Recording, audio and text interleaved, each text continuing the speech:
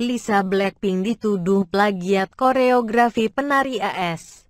Personel girl band Blackpink Lisa baru-baru ini dituduh melakukan plagiarisme koreografi. Tuduhan ini bermula dari unggahan Lisa saat melakukan rutinitas cover tarian di akun YouTube miliknya dengan lagu Chocolate Mushroom milik Queen dan Enam Black. Namun, tariannya tersebut justru menuai kontroversi. Seorang penari asal Los Angeles, Ciara Nichols mengecam dan menuduh Lisa mencuri koreografi miliknya.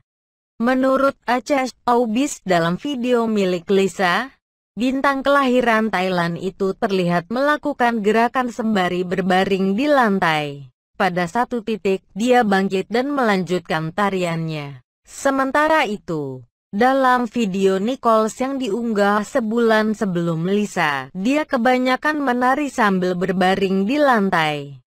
Namun, melihat kemiripan koreografi Lisa dengan miliknya, Nichols langsung menyuarakan keluhannya. Dalam episode hari ini, Let's Tell from Black People, seorang penyanyi Korea mendapat 7,8 juta kali diputar dalam sehari menggunakan sebagian besar koreografi milikmu, tulis Nichols di Instagram. Story Nichols juga menulis di Twitter, kalau-kalau orang-orang tak bisa membaca. Saya tahu memberi kredit pada seseorang jika saya jelas-jelas menirunya. Saya melihat inspirasi gadis itu tampak hebat. Di unggahan lain, Nichols juga menulis tak apa-apa, meski itu terlihat buruk ketika saya yang melakukannya. Tak cukup sampai di sana. Dia pun menanggapi seorang pengguna internet yang menonton videonya setelah melihat video Lisa.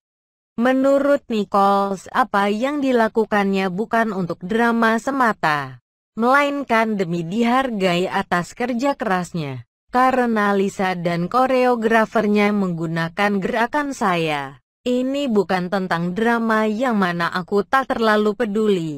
Tetapi jelas dari mana awalnya mendapat inspirasi. Jelas tidak ada yang melakukan hal seperti milikku.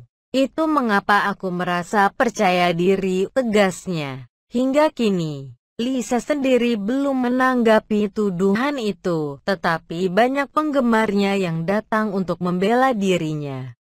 Banyak di antara mereka bahkan memilih tombol tidak suka pada video Nichols dan menulis komentar negatif hingga koreografer ini memutuskan mematikan bagian komentar.